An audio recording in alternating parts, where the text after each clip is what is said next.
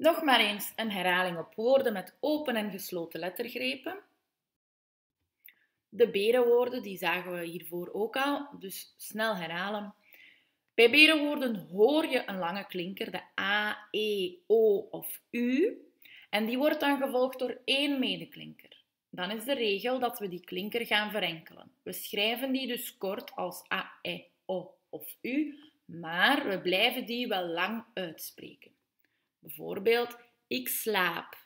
Lange klinker A, gevolgd door één medeklinker. Dan gaan we verenkelen, wij slapen. Eén vuur, lange klinker U, gevolgd door één medeklinker R. Dan gaan we verenkelen, twee vuren. Hij eet, hetzelfde, zij eten. Goed? Daar gaan we oefeningen op maken in ons boek pagina 12. Neem het er maar bij. De eerste oefening. Moeten wij het meervoud van de woordjes links gaan schrijven. Dus bij ons voorbeeld, het eerste woordje is beer. Dat is natuurlijk een berenwoord. Maar in deze oefening zijn het allemaal berenwoorden. Dus let op, hier ga je alles moeten verenkelen. Beer, lange E, gevolgd door medeklinker R, dus één medeklinker.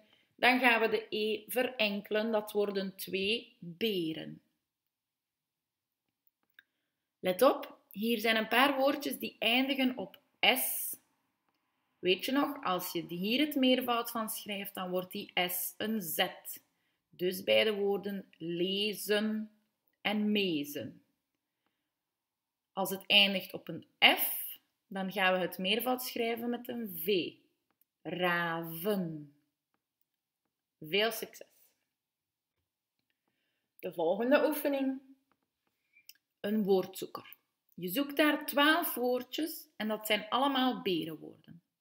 Dus je gaat ze zoeken en dan schrijf je ze van onder en op de lijntjes schrijf je ze op. Dus het eerste heb ik voor jullie al gezocht. Kamers. Dan schrijf je dat onderaan ook nog eens op. En zo ga je er twaalf moeten vinden. Veel geluk!